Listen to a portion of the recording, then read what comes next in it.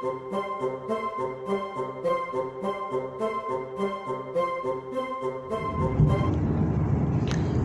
everyone.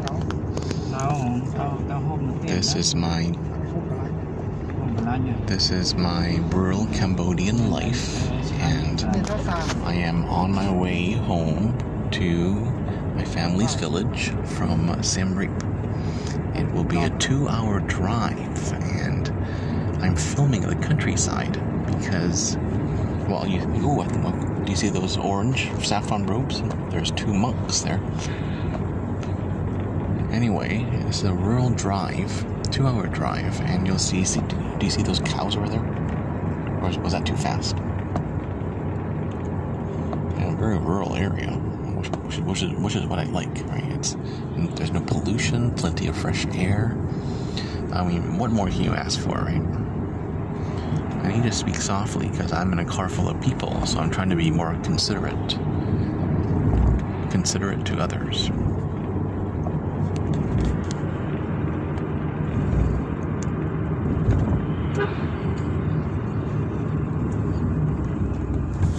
Oh, there's this primary school there.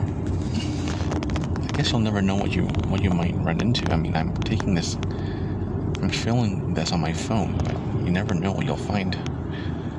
On the, I mean, like before, I found a whole resort with a Ferris wheel, like an amusement park.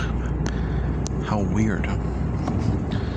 How wonderfully weird. Oh my God! I, did you, did you see that? Some guy transporting cows some woman in a hammock. Well, I hope this is not going too fast for you guys to see.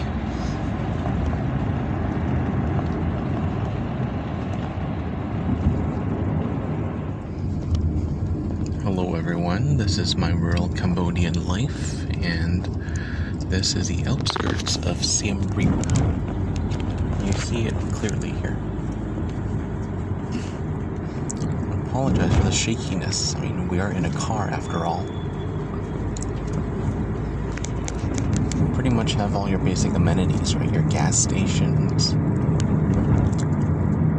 phone shops, right? Banks, jewelry stores.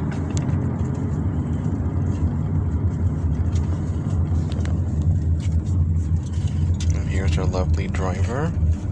I think he's a cousin. And there's May. May, you- I'll teach you English, right? You're gonna learn English.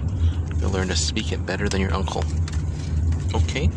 You wanna learn English? Okay? Okay, okay. So cute. Isn't she just adorable? And here's some sort of market.